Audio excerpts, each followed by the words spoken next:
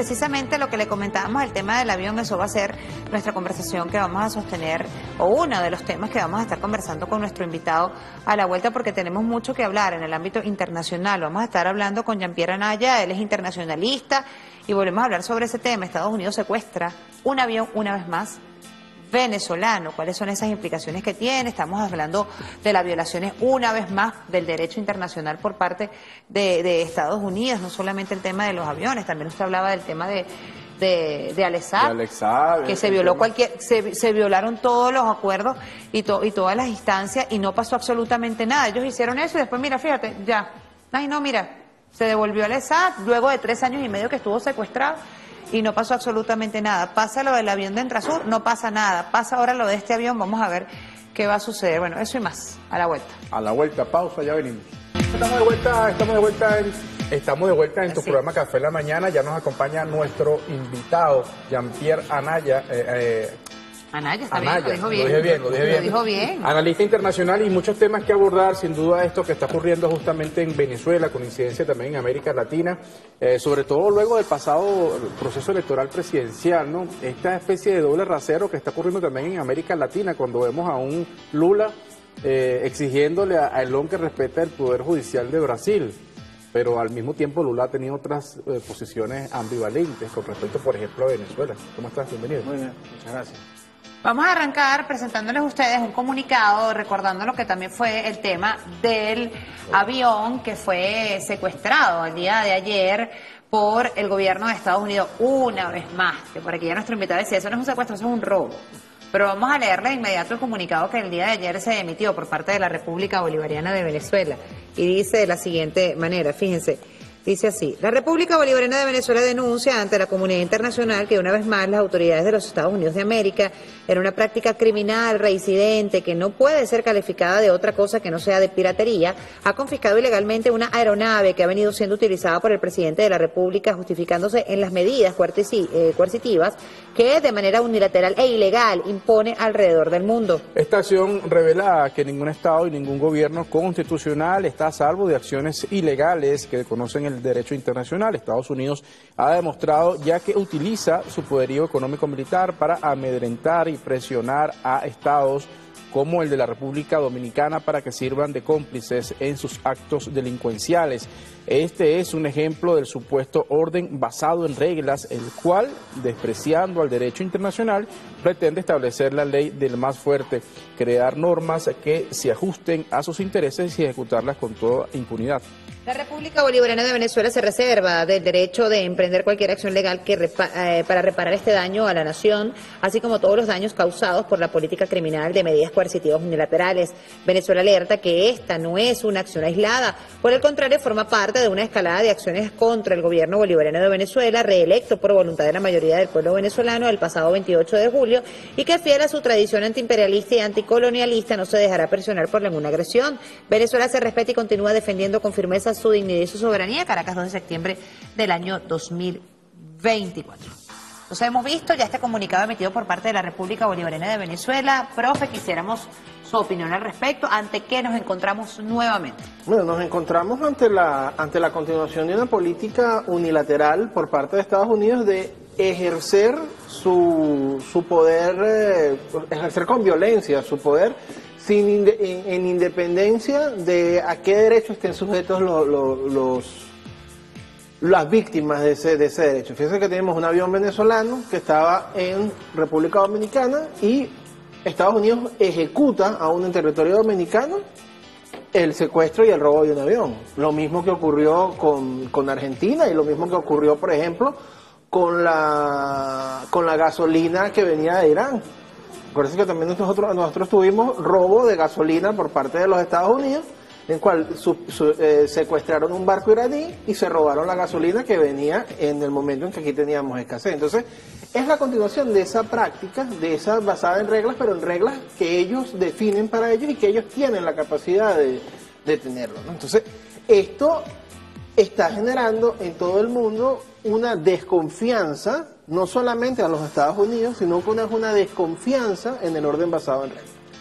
Y esa desconfianza en el orden basado en reglas nos va a poner en peligro el propio sistema multilateral que hemos construido durante los últimos 100 años en, en el mundo. Entonces, si no tenemos puntos en común en los cuales nos ponemos de acuerdo, corremos el riesgo de enfrentamientos mundiales como los que la mayoría de los analistas creen que vienen en las próximas décadas. Y que uno ve, por ejemplo, en este caso, profe, eh, fíjense ustedes que el, gobierno dominicano eh, trata de lavarse las manos y dice que la justicia fue la que autorizó entregar a, Estados Unidos el avión, dicen ellos. Y esta reacción me hace recordar mucho lo que ocurrió en el caso del Alexab y el de Argentina, pero no, pero en el de Argentina fue directamente, eh, Milei lo asumió, pero en Cabo Verde el gobierno decía que eso era un proceso que desarrollaba judicial, y que, que, ellos no podían intervenir en eso, ¿no? Eh, y bueno, en el de Argentina la posición asumida totalmente por por, por, Fernández al principio que eh, dijo, bueno, esto, esto, es la, que era del, Poder Judicial. Claro, eso es el Poder Judicial. A Fernández dijo que eso no tenía nada que ver con eso. Ahora, que después Milei lo entregó fue otra cosa, pero inicialmente el que permitió el secuestro en el, del avión en Argentina fue el señor Fernández. Ahora, ¿por qué justamente podemos decir que los gobiernos, eh, más allá de ese Poder Judicial, también son cómplices de estas acciones extraterritoriales? Bueno, son cómplices primero porque son respuesta de grupos a los que les interesa que se cumplan y después estos, estos gobiernos también son sujetos de amenaza. O sea, si, Estados Unidos llega y le secuestra un avión a Venezuela, o le secuestra algo a Venezuela, le roba la gasolina, le roba los barcos, un gobierno que se oponga va a ser acusado de que está colaborando con Venezuela y va a, tener el riesgo de someterse a las mismas sanciones. Un gobierno como la mayoría de nuestros gobiernos del, Caribe o como nuestros gobiernos de África en el caso, van a tener mucho miedo porque las consecuencias para ellos van a ser bastante, bastante, bastante fuertes y van a decir, mira, yo mejor dejo pasar esto y, lo tengo, pero esto todo lo están haciendo bajo coacción, no es algo que ellos crean que es correcto, no es algo que ellos crean que, que, que es lo que deben hacer, sino bajo coacción. Por supuesto que hay los que creen que es lo que tienen que hacer, ¿no? Como fue el caso de Milei, que incluso aceleró la, entrega y, facilitó eso porque tiene una convicción ideológica y, política de que eso tiene que hacer. Pero la, acuérdate que todo el, el, dominio de los Estados Unidos en el comercio, en las instituciones, en el uso de los mares, en el uso del sistema financiero, deviene de amenaza, de una amenaza de que si tú no cumples mis reglas, te puedo hacer daño y te voy a hacer daño, como es el caso de los países que estamos buscando una construcción de una vida independiente. Nos, nos están golpeando porque su intención es hacernos daño. Profe, tenemos que hacer una pausa acá con usted porque a esta hora se está desarrollando en el Teatro del Centro de Formación Superior Militar de Venezuela ponencia sobre la intervención de Estados Unidos justamente, ¿no? En todo, en, todo lo que tiene que ver con América Latina, pero en esta oportunidad se está llevando a cabo sobre eh, la intervención que tuvo Estados Unidos en el sistema electoral venezolano ocurrido recientemente el pasado 28 de julio en la elección presidencial. Vámonos de inmediato hasta allá, se lleva a cabo las ponencias a esta hora buena. Si uno fuera un bateador y batea 57 de averaje, 570 es buenísimo. la tasa de éxito es buena, el sistema está probado y lo están, practicando con nosotros, un sistema más que probado. Y esto me interesa, este cuadro de la derecha, porque es, la CIA tiene una división interna de análisis, inteligencia, etcétera, etcétera, y tiene una división que se llama eh, Grupo de Operaciones Especiales, que son las acciones de sabotaje eh, encubiertas que nunca va a reconocer el Estados Unidos. Y su lema es tertia optio, que significa tercera opción. ¿Y qué significa esa tercera opción en el lenguaje de ellos ahí? Dice, hay una opción diplomática el brazo diplomático del pulpo. Nosotros hacemos todo lo posible, aislamiento diplomático, presión, todo lo que sea, ¿verdad? Eh, para, para, trabajar contra el enemigo. la diplomacia es una vía de acción. La vía cinética militar es la otra acción. Acción militar, violencia, intervención, invasión, presión militar, amenaza militar, esa es otra opción. Pero dice, ¿qué hacemos cuando ni la diplomática ni la militar abierta funciona? La tercera opción, que son las operaciones encubiertas. Ellos son los especialistas en las operaciones encubiertas, la CIA.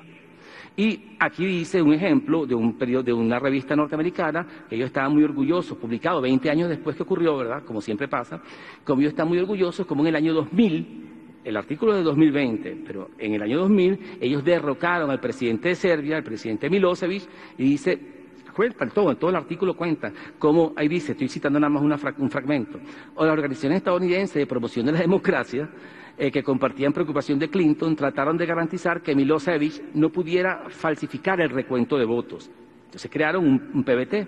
Una ONG financiada por Estados Unidos formó más de 1.500 activistas para vigilar los colegios electorales. El día de las elecciones, los miembros de la oposición contaron los votos junto con los funcionarios del gobierno.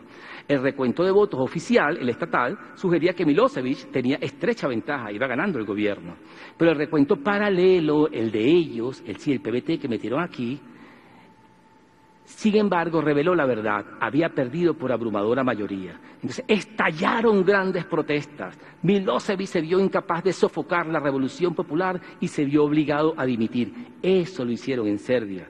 Es un modelo que se ha venido repitiendo en Kirguistán, en Kazajstán. Veamos los casos. Aquí está Serbia 2000, que ya conté, en Georgia en el 2004, en Kirguistán en el 2020. Utilizan el evento electoral no como un evento limpio para que el pueblo se manifieste, sino como un evento de acumulación de fuerza y de un plan de subversión para que cuando no se cumpla el PBT, como ellos predijeron, la violencia callejera destruye los centros de poder y las fuerzas de seguridad se ven incapacitadas y dejan que ocurra lo que ocurre, el caos.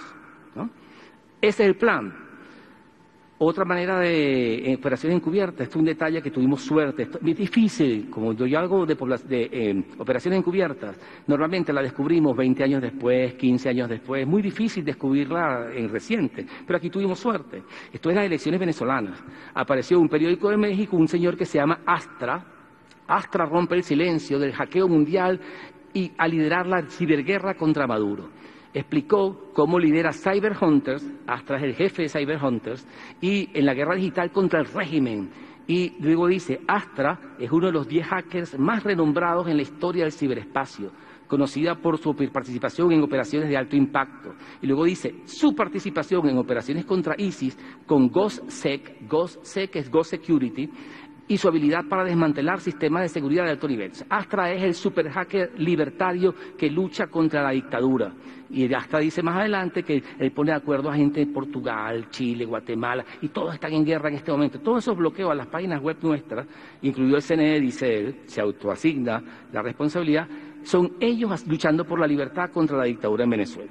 Pero entonces nosotros encontramos Ghost Security, que un exdirector de la CIA en el 2015, en una revista que se llama Foreign Policy, dice, estoy convencido de que los datos de Go Security Group pueden ser de gran utilidad en iniciativas terroristas. Go Security desde el 2015 ya estaba trabajando con la CIA y el director de la CIA lo reconoce. Ese famoso Astra, que es un super luchador por la libertad, un super hacker, mentira, Go Security es un frente de la CIA que nunca va a decir que la CIA, sino utiliza estos tipos de nombres, parapeto, humo, tierra en los ojos, propaganda, operación psicológica. Si todos ustedes lo que ven, y se pueden ver ya mismo en los tweets, en el Twitter y en las redes, Cyber Hunter que si pone la lista de, personal del DIGESIM, la lista de personal del SEBIN, que si las cuentas de banco del general Padrino López, la cuenta de banco de Maduro en Irán, toda esa basura es la CIA promoviendo esto y usando este tipo de personajes que nosotros, si no entendemos quién es el que manda, nos creemos que son luchadores por la libertad.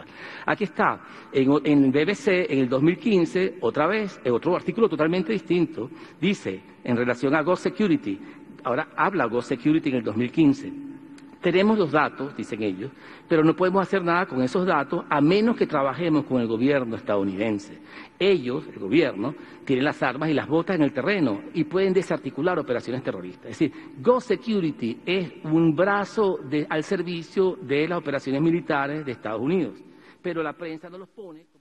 Bueno, esto es parte de esta ponencia que lleva a cabo nuestro embajador Samuel Moncada, que mira, muy respetuosamente, yo diría que esto debería pasar hasta en cadena, porque ya la hizo, ya hizo esta ponencia ante la Asamblea Nacional, ahora la está haciendo ante nuestra Fuerza Armada Nacional Bolivariana, pero además que es muy didáctica, muy eh, de, de manera muy llana para que la gente pueda entender lo que realmente está ocurriendo detrás de esa pretensión y, de, ese cantar fraude de la derecha venezolana y cuando tú abres el abanico ves cómo se ha tejido toda una fake news, toda una cantidad de información falsa para posicionar matrices que realmente no son las verdaderas y cuando tú ves más a fondo tú te das cuenta quiénes son los que están detrás de esto. Debería, debería, todo el pueblo venezolano debería estar y saber de esta, de esta ponencia tan importante que hace el embajador Samuel. Así es, seguimos conversando con Jean-Pierre Anaya, internacionalista, amigo de la casa, y hay varios temas. Hablamos justamente de, eh, de lo que ha sido el robo de este avión ahora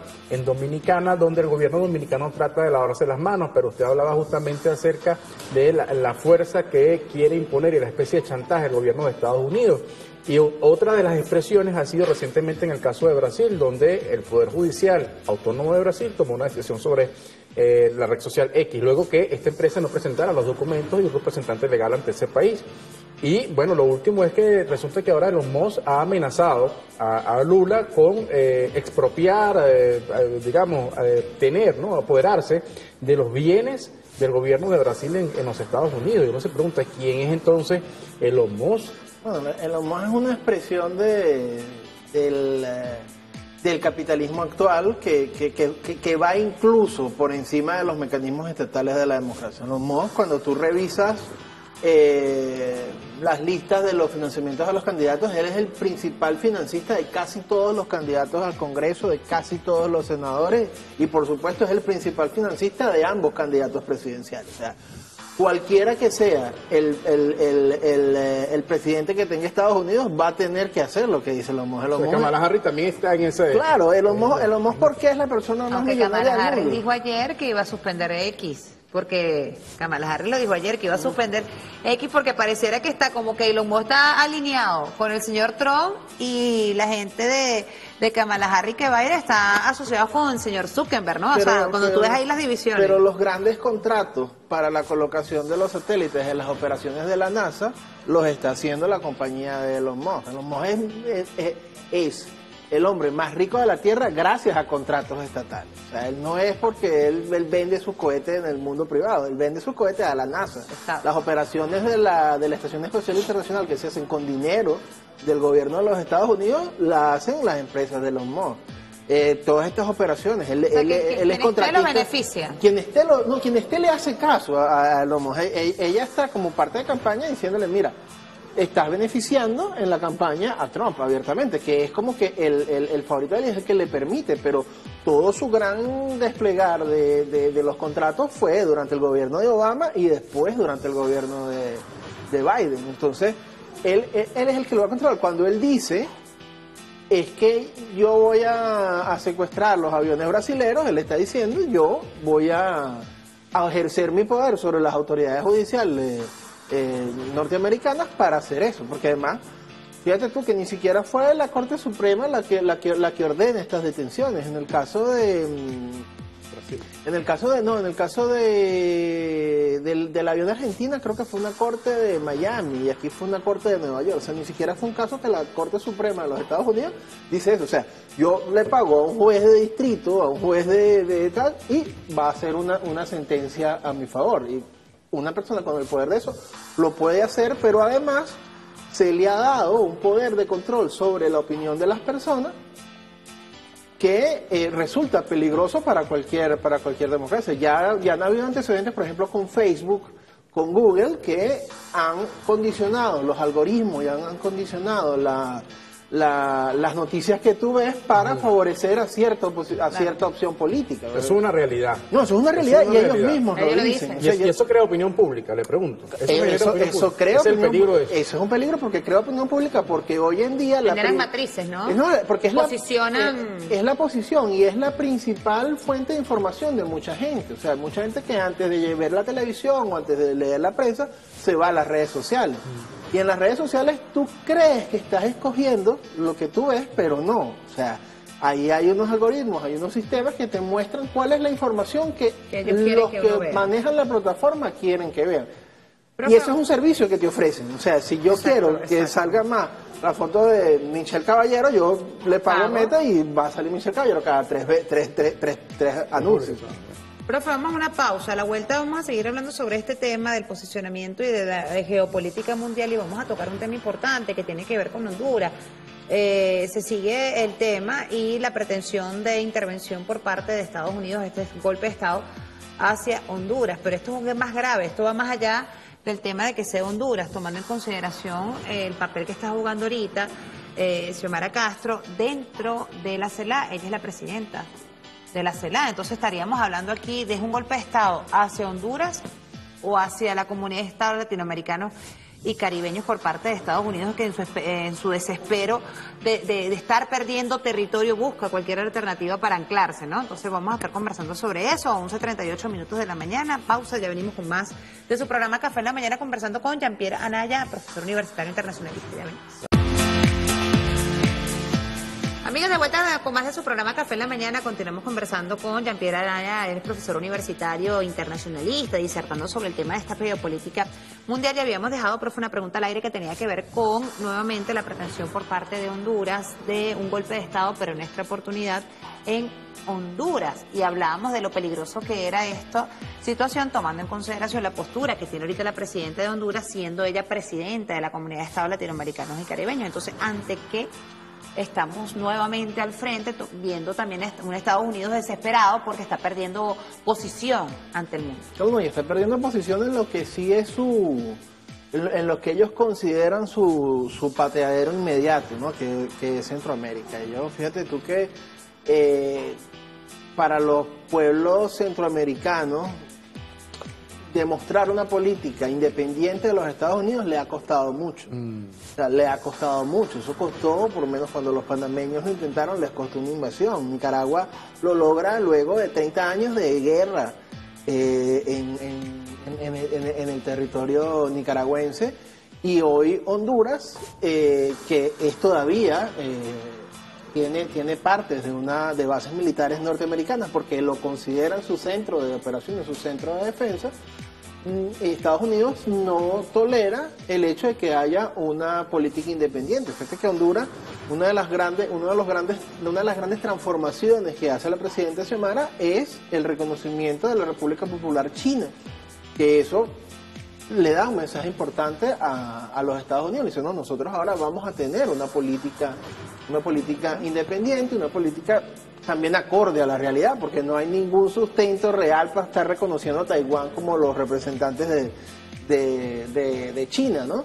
Y esto, esto tiene que ver con, lo que estábamos hablando antes, ¿no? Con el control de las compañías eh, norteamericanas sobre el gobierno norteamericano todo este entramado de leyes, de normas que se hacen en Centroamérica, que tiene que ver con República Dominicana, con Honduras, con Guatemala, con El Salvador, vienen de todo este ordenamiento internacional americano que se hace a principios del siglo XX, cuando la compañía que dominaba el comercio de los Estados Unidos era la United Fruit Company. Y es que viene el concepto de las repúblicas bananeras. Las repúblicas bananeras eran países teóricamente independientes, pero cuyos gobiernos estaban comprados por las empresas productoras de banana. Por eso es que eh, Estados Unidos tiene en varios de estos países acuerdos, por ejemplo, los acuerdos de extradición. Mm. Si Estados Unidos solicita a una persona en extradición para que se presente ante la justicia estadounidense, esta, esta, esta solicitud de introducción está incluso por encima de cualquier solicitud interna que, que haya ocurrido en... Eh, o sea, que ocurra dentro del país. Fíjate tú que, por ejemplo, Honduras eh, entrega a los Estados Unidos al expresidente Juan Orlando Hernández, sobre la base de ese acuerdo de extradición. Mm. Pero las causas que Juan Orlando tiene en Honduras están suspendidas. Mm. Entonces, si mañana Estados Unidos decide que Juan Orlando sale en libertad y regresa a Honduras, él puede llegar a Honduras sin ninguna causa, porque las causas se suspendieron en, eh, en Honduras. O sea, es la subyugación del sistema judicial propio al sistema judicial norteamericano. Y más o menos algo así es lo que ocurre con Dominicana. Sí, porque es bien curioso. Ahora, pareciera haber un reposicionamiento de la doctrina Monroe. Eh, uno está viendo ahorita lo que está pasando en Argentina.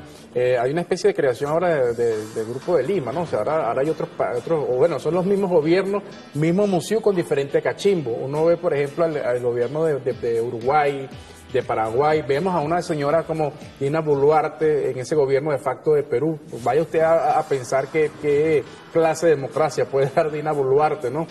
Eh, ¿Qué está pasando justamente en, estos grupos de la extrema derecha en América Latina? No, ellos no defienden ninguna democracia. Ellos lo que defienden es la hegemonía de los Estados Unidos sobre, sobre la región. Cuando tú vas a revisar todos estos gobiernos a lo interno, todos estos gobiernos están ligados a grupos económicos que tienen sus intereses principales en los Estados Unidos. Y una Suramérica o una América Latina incorporada en la economía mundial dentro de los nuevos polos de poder que están teniendo, no les conviene. No les conviene porque perderían este, este, esta, esta, esta relación que es la propia relación de la dependencia. Estos países dependen de la relación, o, estos grupos económicos dependen de la relación con Estados Unidos para mantener su, su, influencia política sobre, sobre los estados. Y esto lo podemos ver en Colombia, lo podemos ver aquí en Venezuela, lo podemos ver en Brasil, lo podemos ver en Argentina, lo podemos ver en México, donde los, los propios gobiernos tienen límites a la hora de plantear las, las reformas. Fíjate tú, por ejemplo, con toda la política independiente que ha tenido el presidente López Obrador, por poner un ejemplo, cuando se le planteó el tema de la desdolarización, él dijo, no, hasta ahí no, hasta ahí no llego yo. Yo no puedo dependerme del dólar, ¿por qué? Porque yo tengo aquí un montón de grupos económicos que están ligados a la economía estadounidense. O sea, por muy independiente, por muy no alineado, por muy yo que sea, hasta aquí no llego yo. Entonces, ahí vemos claramente cuál es ese papel de, esos grupos económicos sobre los gobiernos. Pero se ha perdido fuerza Estados Unidos, sin duda alguna, en el tema de la geopolítica y se está posicionando otros países como China, como Rusia, ante no podemos, lamentablemente se nos acabó el tiempo, pero no podíamos dejar de lado el tema de los BRICS, tan importante, y cómo ha desplazado a Estados Unidos y se ha posicionado esta, esto, estas potencias en crecimiento. ¿no? Claro, y eso es lo que explica esa agresividad en el continente que de repente en las décadas anteriores no lo habíamos visto porque la amenaza desde el punto de vista norteamericano no estaba tan clara. Okay. Hoy que la amenaza está clara, vemos una acción más peligrosa, más agresiva. ¿Por qué? Porque se están defendiendo contra un enemigo que ya están viendo. Bueno, gracias, profe. Vale, no, muchísimas Amigo gracias por la la Casa. Internacionalista, eh, bueno, y muchos temas que seguir abordando, sin duda, en esto que tiene que ver con lo nacional y repercusión internacional. Así es, muchísimas gracias, profe. Bueno. Miren.